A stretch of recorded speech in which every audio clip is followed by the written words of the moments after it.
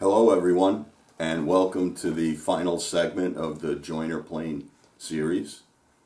Obviously this isn't a live stream. I'm Going to film this in advance, do a little editing, post it up, and you'll be able to watch it for your viewing enjoyment at your leisure. So the first thing I want to talk about is the original that I think you saw in at least one of the videos and is the basis, the master for this copy. So I'm going to switch camera angles around a little bit, continue with the video, and we'll get into the, some of the finer details of the, the master and the copy, some of the differences, some of the improvements, and then sum, summarize everything with my overall thoughts, and then we'll wrap it up. So here's the original. This plane was made by the Mathieson Company, and they're out of Edinburgh, Scotland. And as near as I can tell, the stamp on this indicates that the plane was manufactured in either 1849 or 1850. So that makes this plane no less than 172 years old. And what you can see, except for the chip on the handle, that it's in really good condition. The ends have no checking, and the bottom really has no wear, and there are no major defects. There's no dents, no cracks, nothing, and I believe the blade is original. So let's look at their their configuration for the bed. The first thing that you'll see is there's a channel cut for the um, the screw that binds together the um, the chip breaker and the blade. So this is the part that fits in that slot. And then that has a backing nut and then there's a channel cut in the wedge to receive the backing nut. And it's a channel because this is all going to slide based on where the wedge fits in the um, wedge pocket and the wear. As the blade gets shorter uh, it needs to travel through this pocket. And then what you'll also notice is um, that relative to the to where this wedge is positioned in the um, in the plane I can show that to you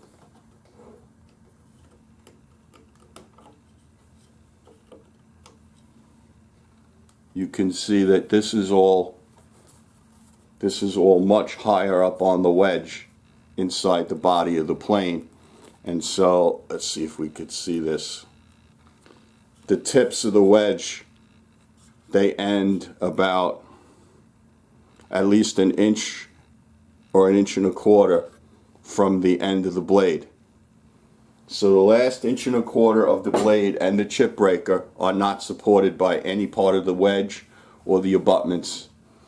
And uh, one of the reasons for that is because you have this this exaggerated uh, high spot in the wedge. I mean, not in the wedge, but in the uh, chip breaker, which creates this space that you can see in here and that puts the pressure right on the tip of the chip breaker and confines it to the top of the blade so that there isn't binding when it when the curl comes off the tip of the blade it doesn't bind in the space in here. And that's what provides the curl.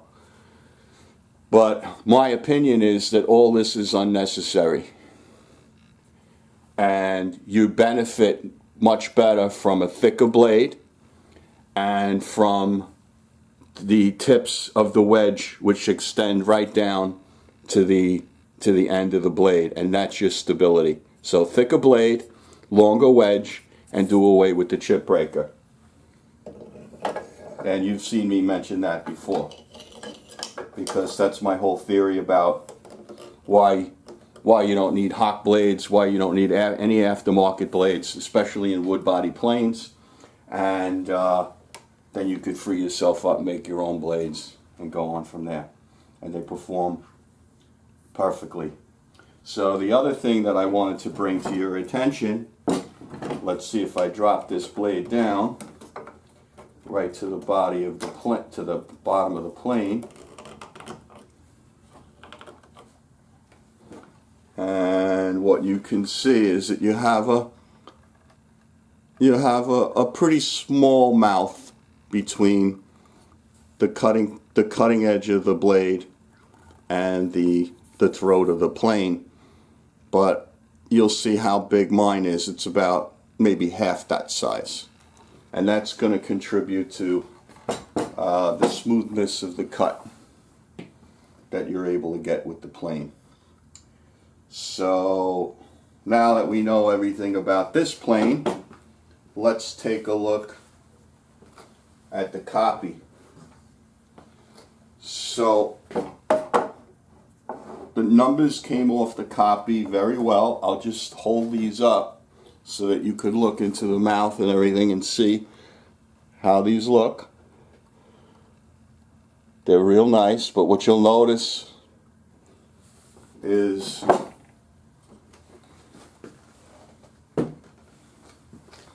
you'll notice that this ramp extends down much lower on the blade on the on the blade and the tips of the wedge extend all the way to the cutting the cutting edge of the blade. And I can also point out to you again how tightly the the wedge fits against the abutments. This is super tight. Ridiculously tight. Let me show you the other one That's really, really good. I'm really happy with that. So here's the mouth. It's very, very close. So you'll get a good curl when you're operating the plane, but hopefully there won't be any binding. I sanded the throat to uh, 220 so this right in here is real smooth so hopefully there's a, a bit of reduced friction in there so the curl will just come right out and you won't have any problems as you're working on the working on your projects with this because this is going to be a user. So, and I'll also show you the, the tote.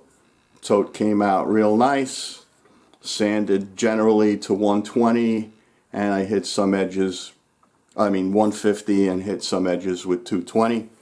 So then I'll give you a good look at the the wedge.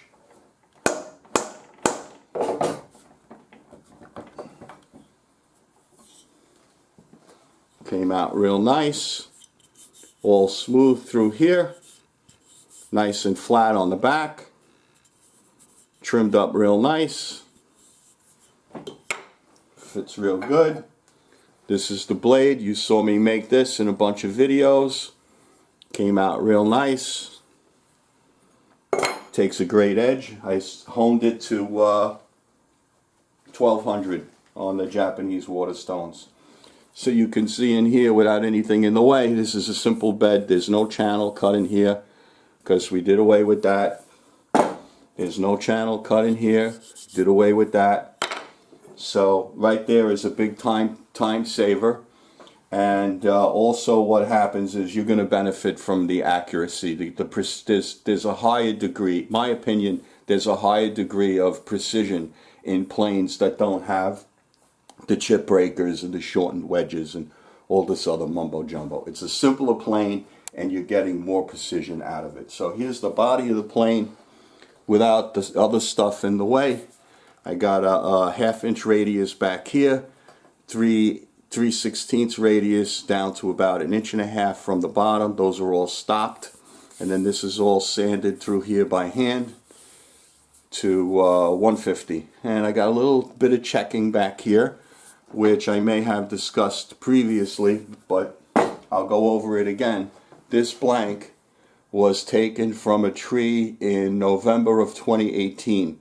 And at the time, I took one extra log than I thought I needed when I was fabricating the grandmother's chairs.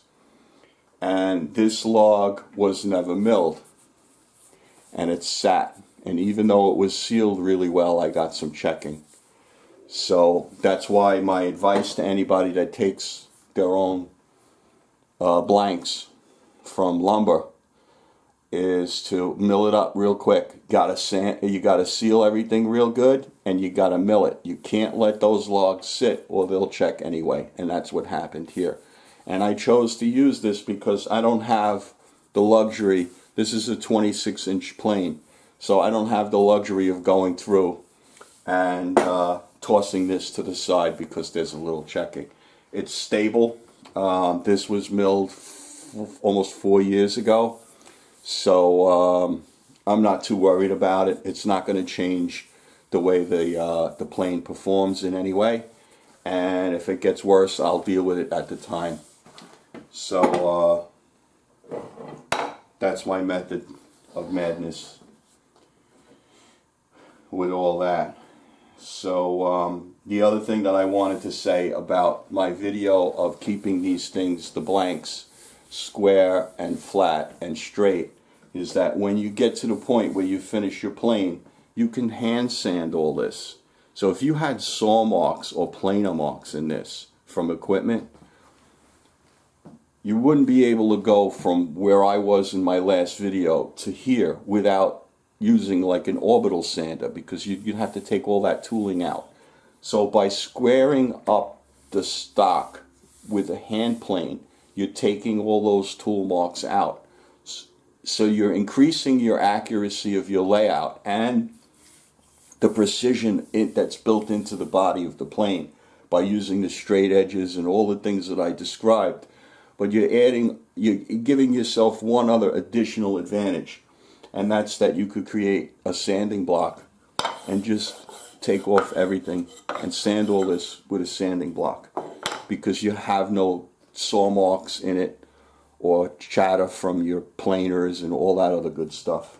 And um, as far as the bottom is concerned, this has to be planed. This has to be set with a straight edge and it has to be planed. This has to be absolutely straight. So there's no other way you can get that without doing it by hand. And I will say, this is this is wicked straight through here. I spent a lot of time on this. So that's what you want because this is going to be a user. And uh, so that's all I wanted to say about that. So uh, let's get into uh, taking this for a test drive.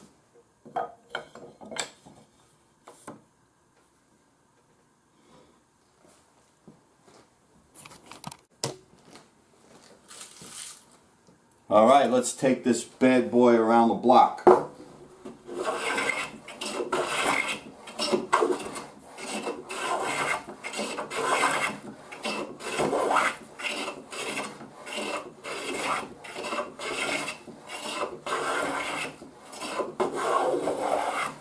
Okay, so first thing I notice, it's cutting very smoothly. Uh, I'm able to set it to a shallow cut so I can push it efficiently. We got good production of shavings. None of them are binding. So that's what the bottom looks like. So that's real, that's all freed up. So, uh,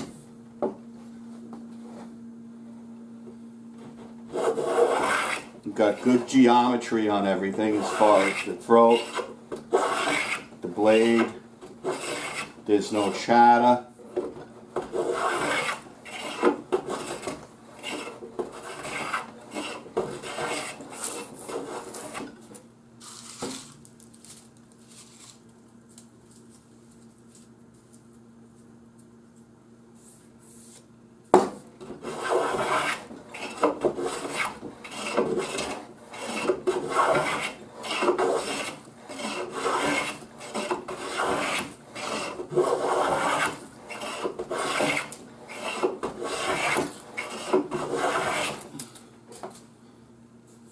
Very nice. Very smooth, chatter-free cut. So I think this the testing is a success. Got some nice full width, full length shavings. So that's what you want. And they're practically transparent. So that's a real good, it's a real good cut. Real nice fine cut. So there you go. So, to summarize this project, uh, I want to say a few words. The first is that I think in terms of the learning curve, this is a beginner plane. Believe it or not, it's a lot of work, but the geometry is very simple. So if you were going to, this would be a really good first plane for somebody to make. Or something, something shorter. But the general configuration is very, very simple. So, in terms of the information you have on my channel to be able to make something like this. You've seen me make the floats, which you would need to do this work. You've seen me do the work on how to, to how to actually fabricate it. You've seen me lay out and fabricate the tote. You've seen me do the blades, the, the hardening, the cutting, the shaping, and all that mumbo jumbo. You've listened to me go through all the elements of the different parts, the disciplines involved in fabricating the blank, drying the wood. So within the body of my channel, you have nearly every element that you need to produce a plane like this. I will state the obvious though, and that's that you have to take advantage of the videos by watching them because it does you no good if you're in the business of learning how to make planes, but you want to take a lot of shortcuts or you're watching other videos that don't give you that kind of quality information and the inspiration and the confidence because that's really what this is all about. You see behind me I have, this is my kitchen. So my work area is my kitchen. And if you have a house with a shop or a basement or a garage and you have better facilities than me, then these are going to be even easier projects for you to handle. Okay? That's how easy I think these things are. And that's how much information I think you have on my channel that you can take advantage of and produce these kinds of planes. Once you do that, the sky's the limit because now you can make other planes, you can use this for your woodworking and furniture projects. These are great just to, as a conversation piece. This in and of itself, even if you weren't a real traditional woodworker like me, this is a great project to just blast out and challenge yourself to exercise the limits of your creativity, to go outside the normal boundaries of what you're doing every day and produce something that's going to elevate your consciousness because that's really what creativity is all about. And it makes life worth living, for me anyway. So I want to thank you for watching all those videos, for listening to me gab for hours and hours on end as I go through live streams and videos and everything. It means a lot to me. Thank you very much. Stay strong, everybody.